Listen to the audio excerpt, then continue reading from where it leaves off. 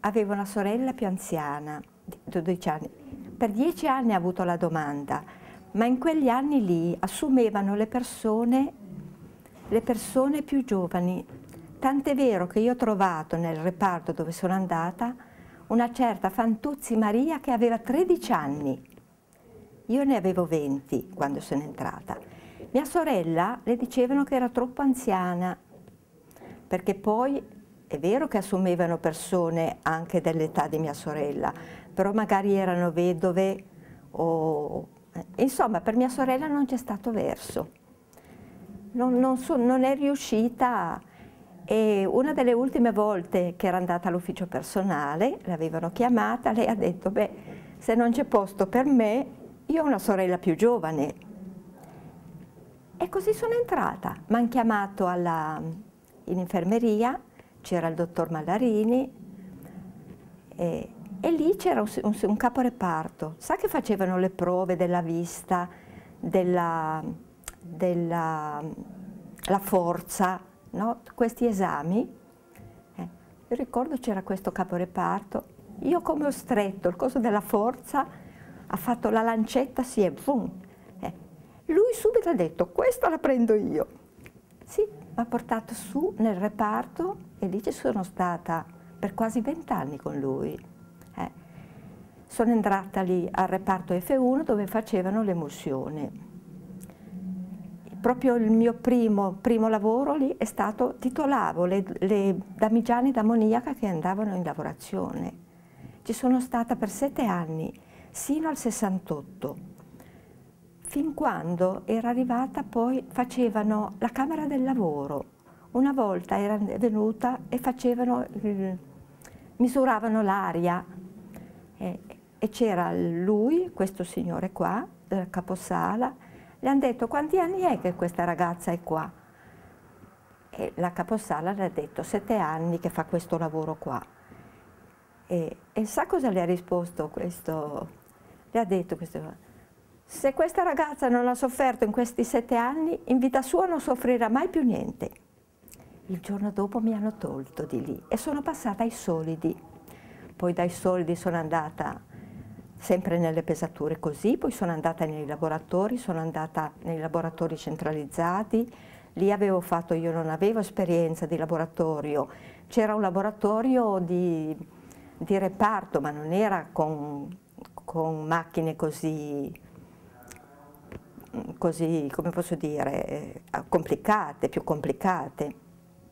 E di lì poi mi hanno spostato in diversi laboratori, a me non spiaceva cambiare tipo di lavoro, anzi tutti quando li mandavano da un'altra parte quasi si offendevano, no? come dire, io dico beh se impara quello lì perché non devo imparare anch'io? Eh. E ci sono stata sempre bene, fino agli ultimi, eh, niente, poi ho cambiato anche diversi laboratori perché sono stata anche nel, adesso non ricordo esattamente le date, ma quando Polla, il signor Polla era andato a Milano, eh, io ero in un laboratorio al G dove facevano, controllavamo eh, le bande, inizio banda, centro banda, i difetti, i difetti di, perché allora si controllavano le, nelle pellicole già c'era, eh, lavoravamo per la Kodak, non dovevano essere timbrate Kodak eh, e avevamo un registro dove segnavamo. Lì ci sono stata bene per diversi anni che ero ancora carica del reparto perché avevano messo i turni e io non volevo farli, cioè non, non che non volevo, dicevo avevo i miei anziani a casa, non volevo, eh, e allora il mio capo mi ha tenuto in, in carica al reparto, però ero andata anche in questo laboratorio qua, dove poi è finito, anche quello l'hanno chiuso. Ho imparato tanti lavori, fino agli ultimi, agli ultimi poi delle stese, perché quando sono poi arrivati gli americani hanno fatto al reparto delle stese, hanno fatto un laboratorio che costava un sacco di soldi veramente. E sa che cosa? A noi facevamo fatica perché avevano fatto dei lavandini piccolini, noi con le burette con, e lì facevamo pH, PAG, eh, per l'emulsione, eh, e veniva, venivano dai reparti con un bicchierino e lì bisognava fare, eh, lì esempio noi non potevamo andare a mangiare, non avevamo l'orario del mangiare, potevamo andare quando avevamo i 5 minuti, però io più volte so, eh, mangiavo pranzo alle 3 gli ultimi anni, eh, perché non avevamo tempo ed eravamo uno per turno. Nonostante però tutti questi, io ci sono stata bene, lo sa perché mi piaceva andare, perché avevano, cioè, avevano eh, molti andavano, facevano ste gite, facevamo lo sport, a me piaceva andare a sciare, eh, ho conosciuto un sacco di gente, però ho sempre, ho sempre lavorato volentieri. Eh, andavo d'accordo con i ragazzi, eh, tant'è vero che a fine rapporto di lavoro mi avevano poi premiato con la stella al merito, che io subito subito non sapevo neanche cos'era, non sapevo cos'era. Eh. Poi niente, perché ho fatto anche vent'anni la notte e io non ero, eh, quando me l'avevano proposto, e io ho detto ci provo, se ci rimetto di salute smetto, eh, altrimenti continuo. Poi ero orgogliosa, non volevo, eh, non, volevo non, non farcela. Eh, vent'anni, vent'anni la notte ho fatto e lì ho fatto tanta fatica perché a volte, guardi, venivo, andavo su col pullman, abitavo già a Savona e a volte col, col pullman mi portavano sino in piazza, in piazza perché arrivavo sino a Corso Ricci, mi addormentavo sveglia da Ferragni a Corso Ricci, poi mi addormentavo e l'autista mi portava in piazza. Dicevo, poteva anche chiamarmi. Eh. Però le ho detto, per me è stata una grande azienda, veramente.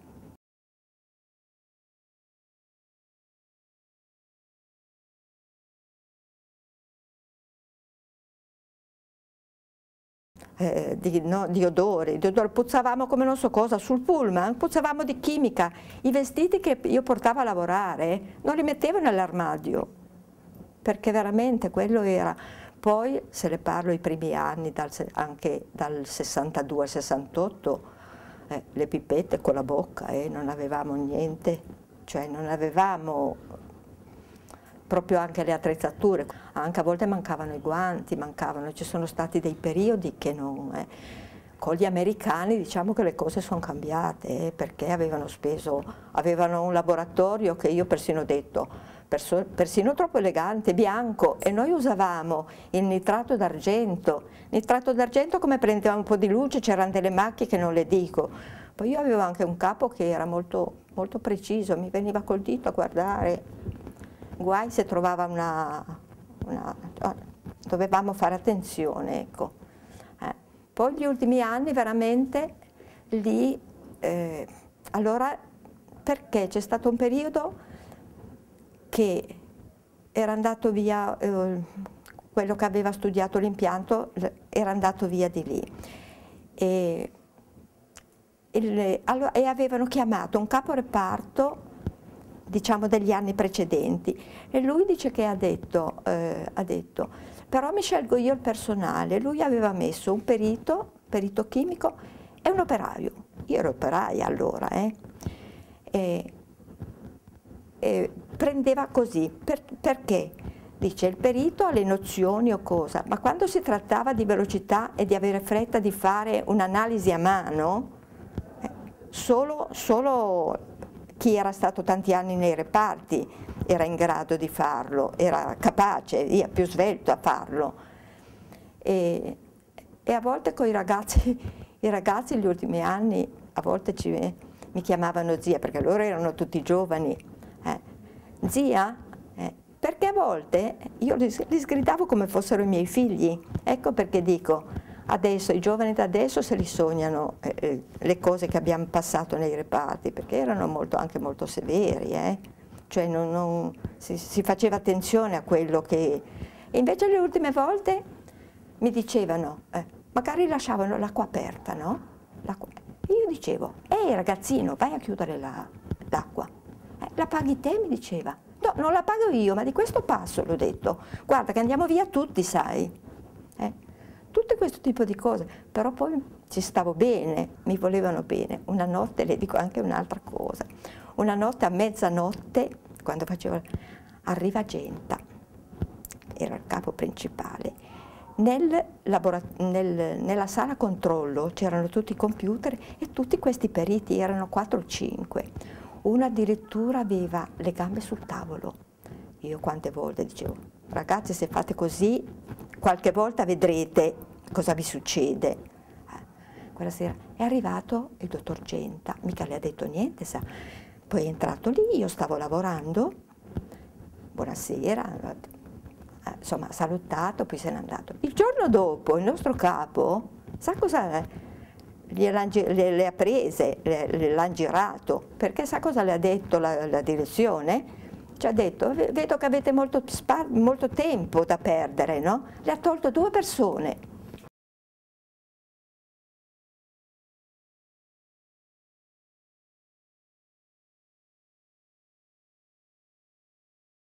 Io sono andata in pensione con l'Emission, lì per me era già, lasciavano già andare, eh, però io poi ho avuto dei capi anche in gamba, in gamba e anche dei, delle persone lì che sapevano veramente il lavoro, sa? Le, non, non, poteva raccontarle delle frottole, anche non so in caso se uno avesse voluto bluffare, eh, anzi, una volta ho avuto un premio anche, aspetti, in un'analisi mi ero sbagliata, mi ero sbagliata perché avevo dato, avevo dato 500 eh, decilitri di acqua in, quando ne dovevo dare 5. Eh, come mi sono accorta? Sono corsa subito nell'ufficio, sono corsa nell'ufficio e ho detto mi sono sbagliata. Ebbene, sa, mi hanno dato premio perché ha detto nessuno l'avrebbe mai e quell'emulsione lì sarebbe andata male, invece l'hanno recuperata perché hanno aggiunto solo dell'acqua. Eh, dice nessuno avrebbe mai osato di dire io ho sbagliato. Invece mi sono accorta, mi sono accorta che avevo fatto male il, il, mio, il conto eh, e avevo, mi avevano dato un premio per quello.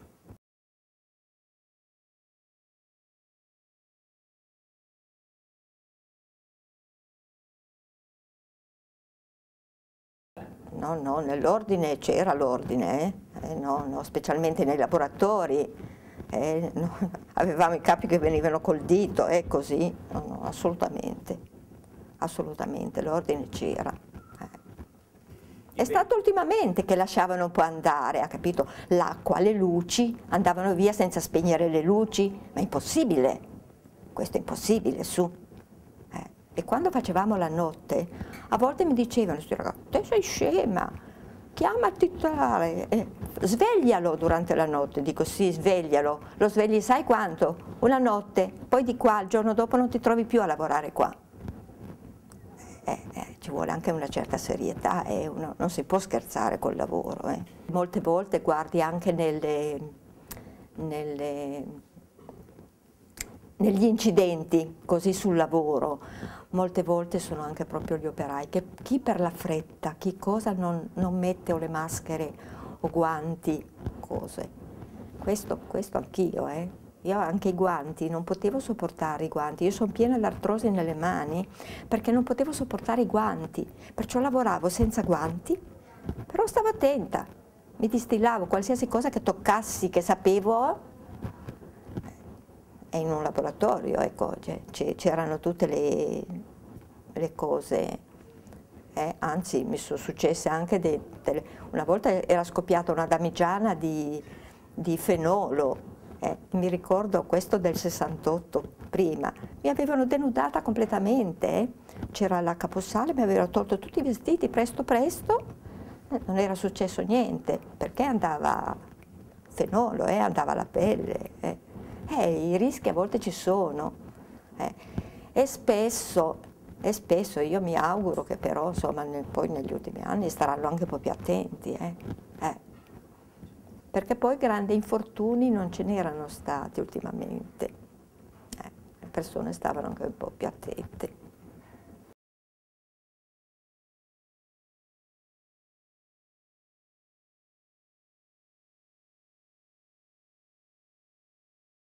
Sì, beh, io le dirò un'altra cosa, che sono, sono stata anche fortunata lì, perché sono entrata che avevo 20 anni e sono uscita, io aspettavo perché poi i miei erano mancati, io ero rimasta sola. Appunto come l'ho detto, non mi ero sposata, dicevo sempre io ho sposato la Ferragna perché ero sempre là.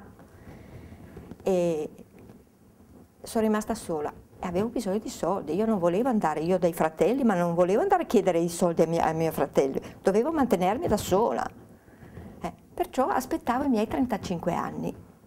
Eh, 35 anni e 6 mesi poi l'ufficio personale mi ha chiamato, ma io avevo la finestra giusta perché avevo 57 anni, perché erano cambiate le finestre. L'anno dopo non sono più andati a quell'età lì, capito? Doveva, doveva, avere, doveva avere i 35 anni. E lì sono stata anche fortunata, dico, sono uscita perché oggi come oggi vanno, non vanno più a 57 anni.